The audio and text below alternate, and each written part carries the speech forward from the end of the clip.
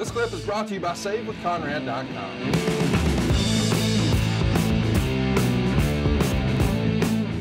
Here's our real main event now. It's the ECW slash WCW team of the Alliance, which is comprised of the Dudley Boys, Rhino, Diamond Dallas Page, and Booker T. Uh, so we've got uh, one, two, three, four, five different guys on that side. And of course, on the other side, it's Steve Austin, Kurt Angle, Chris Jericho, Undertaker, and Kane. Undertaker's uh, going to be nursing a few injuries here. Obviously, Austin and Angle are playing hurt. So it feels like it'll be heavily relying on Jericho and Kane coming in. They get a ton of time too. It is a WWF main event. So it's 29 minutes and three seconds. But Meltzer didn't love it. He says everyone worked hard and this was good, but not the caliber of most WWF main events. Austin and Angle in particular got huge reactions when they came out. Vince, Shane, Paul Heyman, and Stephanie were all brought out to ringside, but until the finish, none played a part in the match. Austin didn't look good as far as moving early, but seemed to get it going as the match got going. He picked his spots and actually did more than I figured he would. He did a superplex off the top to Rhino early on, and the match would have been better served being a little shorter as it seemed to drag in the middle. Austin tagged in at 11 minutes and kicked the hell out of Booker. Austin even did a suplex on the floor to Booker, and Jim Ross went off on WCW and ECW here. He said that WCW was an organization that was dormant for years and that ECW created a style that was career shortening. Any, any, of that, uh, any of that untrue? Nope. I mean, uh, I'm a homer. Of course, yeah. You're the, supposed to be pulling for the WWF. Exactly. Uh, and it wasn't. Oh, he buried these guys. Right, right, right. Easy, pal. You know, uh, I I represented my role with with the team that I was playing on. Sure. So uh, that's kind of where that was. But I was unlike Meltzer. I, I thought I didn't know how much Austin and Kurt would have in have the ability to do because of their injuries, and they both did a whole hell of a lot more than I thought they might uh, might be able to do. That's just their once the adrenaline starts flowing, man. You got seventeen thousand fans there, and you're in the main event. They're just something that if you're if you're a main event level player, you just can't help yourself. And I thought that's what this was. I thought that was. I thought the whole presentation that last match was pretty damn good. There's an angle slam on Bubba and then an ankle lock on Booker, but Booker's going to kick Angle off and he's going to bump into referee Mike Chioda. So Mike goes down. Vince McMahon then grabs the title, throws it to Austin, but Shane gets the belt and hits Vince with it. Angle knocks Shane out of the ring and gives Booker the angle slam and has him in the ankle lock. And Booker's tapping, but of course, there's no referee here. Austin then makes his miraculous comeback, throwing Chioda in the ring. But then he kicked Angle and gave him a stunner and put Booker T on top and ordered the referee to count.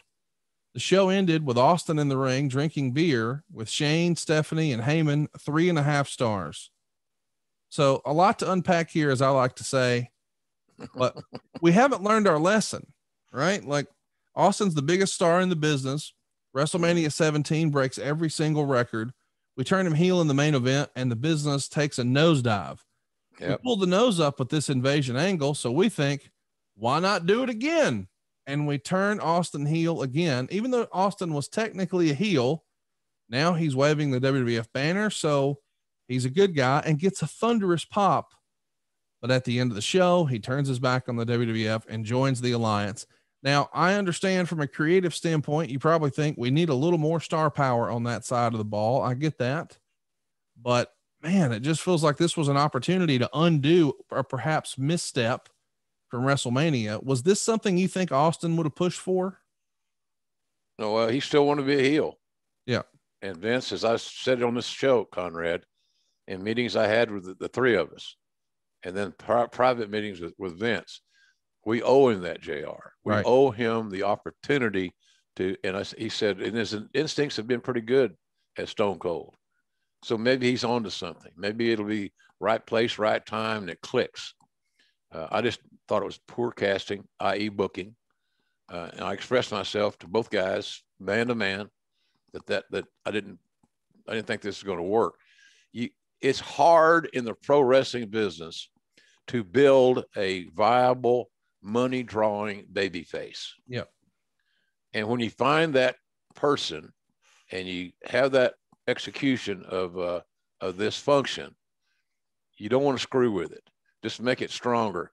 And you do that by having stronger villains and and the numbers game and and you put the baby face in jeopardy. But for God's sakes, changing back and forth or whatever when it's working uh, is what you you want to play upon that. So, uh, but it was just two guys, Vince and Steve, that didn't want to say, well, we're not just maybe this will do it. Maybe this will be the trick that it takes.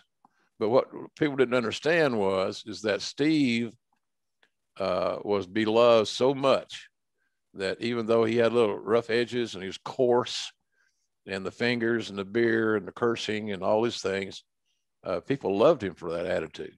They wish they had that attitude. They live vicariously through him, and to hell with the brands. I feel strongly that saving money is important. You know, if it's not something we worry about now, boy, we are really going to worry about it later. And I want to help you get out of debt faster and do it with cheaper monthly payments. I'm talking to you if you're in a 30 year loan. Now is the time to take years off of your loan.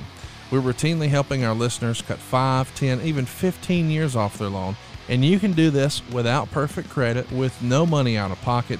You've just got to start at savewithconrad.com. The color of your jersey. So, uh, but you can make an argument. Well, they needed more depth and they needed more star power and all that stuff.